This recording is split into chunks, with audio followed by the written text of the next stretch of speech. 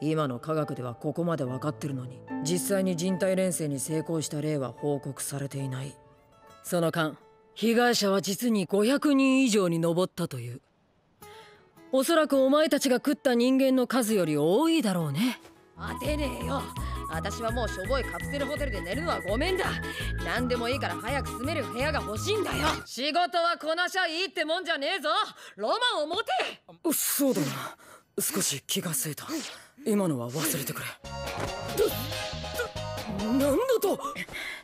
だらしないぞ。それでもお前ら忍びか。お前らよく言ってくれた。来る途中調べてみたけど二人とも本当に心当たりはないわね。彼らに鎖野郎の記憶はないわ。女王の番犬が動き出すのね。社交界の花形。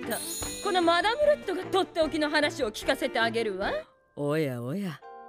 今回は随分派手だな。俺の運がないからさ。いつも先生にひっついてる。一番下のチビか。本日のオークションにおきましては私バツバミレイがオークショニアを務めさせていただきます。出品者は匿名が条件です。ですがなんだい。じゃあ一時店は閉めなきゃね。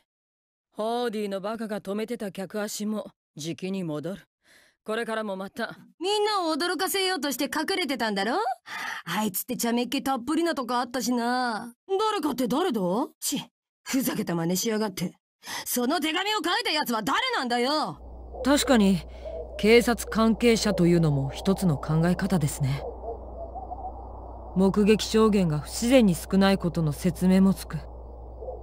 生ためのトラックが証言に出なかったのと同じです。